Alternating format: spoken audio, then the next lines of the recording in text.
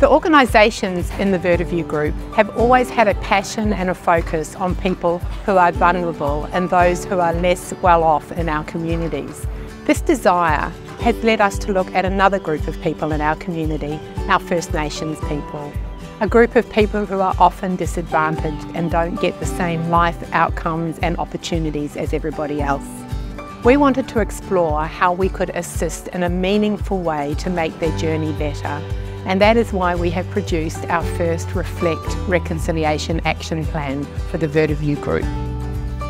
We've spent a lot of time reflecting on our vision for reconciliation and really trying to understand from within ourselves and as a collective also what it is we're trying to achieve through the process of a reconciliation action plan.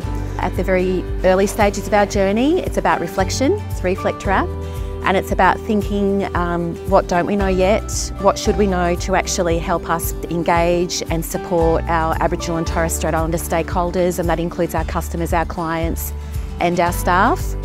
And then the activities that we need to undertake, largely around engagement, uh, for actually forging better understanding, connections, relationships and outcomes together.